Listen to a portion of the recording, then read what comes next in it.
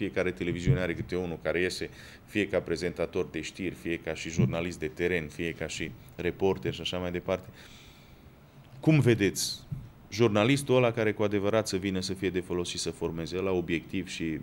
În primul rând să fie integru și să, să aibă conștiința curată și să fie uh, obiectiv, adică da, dacă vin două firme care, care una susține un lucru și cealaltă susține exact opusul, să, să le promoveze pe amândouă fără, fără a înclina într-o anumită parte sau în cealaltă. Grea problema asta. Știu că și în supermarket cei care dau mai mulți au uh, produsele puse uh, cu cel mai mare impact vizual, nu? La nivelul ochilor, restul sunt mai jos sau mai sus și de obicei omul are uh, tendința asta de a privi așa doar la nivelul ochilor. Asta este politica de marketing. Dacă doriți să intrați în direct cu noi, sigur că numerele de telefon, numărul de telefon va fi afișat și dacă doriți, sigur puteți pune întrebări sau puteți face comentarii pe marginea temei pe care noi am uh, început-o în această seară. Care ar fi proiectele noastre de viitor? Ce credeți că poate să facă Galaxy TV mai mult decât a făcut până acum? Să ajungă la cât mai mulți oameni, să transmită mesajele sale la cât mai mulți oameni, fiind uh, o televiziune în limba engleză, are 6 miliarde de potențial telespectatori, 6 miliarde de potențial vorbitori de limba engleză. Bun, haideți să mai vedem încă un filmuleț, să alegem un interviu uh, pe care l-a, l-a luat domnișoara Carmen Moraru, să vedem ceva și în engleză, rog regia de pe, de pe uh, suportul electronic dacă, dacă prindem ceva.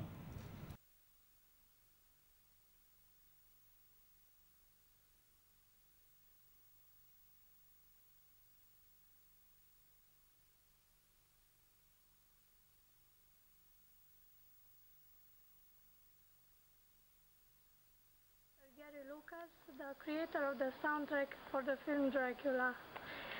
Uh, can you tell us a little bit about the psychology of the film Dracula? I think that it's very intriguing and provocative to a viewer because Dracula, while a figure of pure evil, is also a sympathetic character. He's a tragic uh, victim, he's a seducer, but he has to fight against his own nature. He's not uh, at all comfortable with uh, the choice of being eternally uh, undead. And uh, I think that there's something there that draws in a viewer and makes very compelling. Did you manage to identify with Dracula? In a way, because I like very much his elegance and his suavity, but I'm repelled by his evil nature and uh, the whole story of his uh, existence and then how he is returned to dust at the end of the film really strikes a resonance with me. It's a bit in a reincarnation uh, archetype. These are all things I'm interested in. How can fans and viewers uh, get a copy of your soundtrack? I think if they write me at garylucas.com, I might be able to arrange providing them with a copy of the film with my soundtrack or an excerpt from the film. And the third question, what would your message be for the viewers of the online television Galaxy TV? I think to, to keep an open mind and come and see and hear my show Sunday night, tomorrow night, because hopefully they will see and hear things in a new way. Thank you. Right.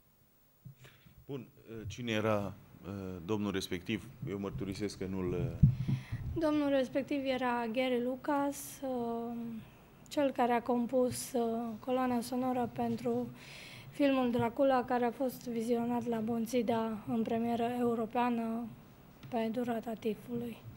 Deci ați avut acces și la TIF și la alte astfel de manifestări, da, da așa cum am Cluj văzut. Fashion și Week. Și, și în legitimație, sigur, o să mai vedem uh, din, din materialele pe care le-am, uh, le-am văzut așa scurt înainte de a intra în emisie, am văzut și ceva cu târgul de, de antichități care pe mine mă interesează așa ca... De care se ține periodic la Iulius Mall. La Iulius Mall. Bun, îl pregătim și, și filmulețul respectiv ca să-l, să-l vedem. Sigur.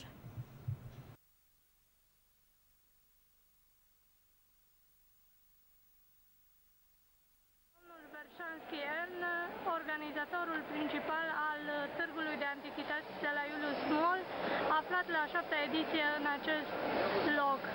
Ce noutăți aduce Târgul de Antichități din această lună? Târgurile de antichități tot de aduc ceva nou. Ori uh, ca marfă, marfă de calitate, sunt obiecte chiar vechi, de evul mediu și sunt și mai noi.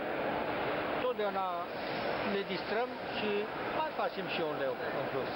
Câți expozanți sunt uh, la acest târg? Aproximativ 60 de expozanți s-au prezentat acum din toate părțile, și din Ungaria și din, uh, din toată țara. Deci din Timișoara până în, până în satul mare și Moldova. Uh, Publicul uh, de ce este interesat cel mai mult? De monede, de insigne? Publicul uh, este interesat de obicei de marfă de calitate, în sensul uh, uh, marfă uh, cu marcă bună, picturi de renume și de obicei mărfuri de calitate. Mai am încă o întrebare. Care este mesajul dumneavoastră pentru telespectatorii televiziunii online Galaxy TV? Uh, Mesajul meu ar fi că viața trece repede și trece mai frumos dacă ești și un pic colecționar. Să colecționezi ori șervețele, ori picturi, ori alte piese, dar e o distracție deosebită să fii colecționar.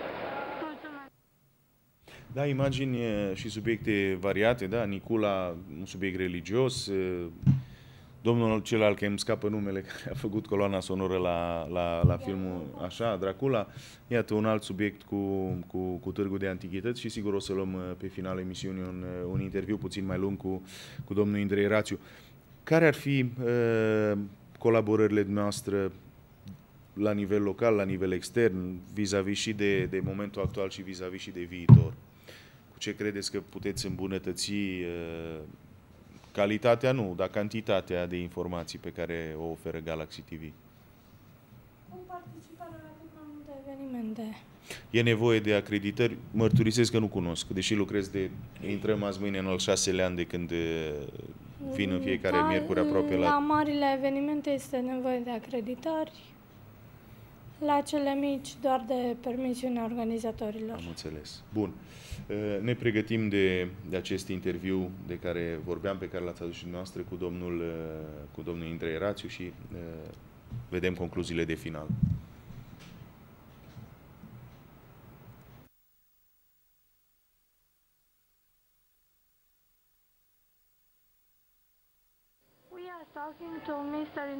Rațiu, one of the sons of the Romanian politician Ion Rațiu and Vice President of the Rațiu Family Foundation.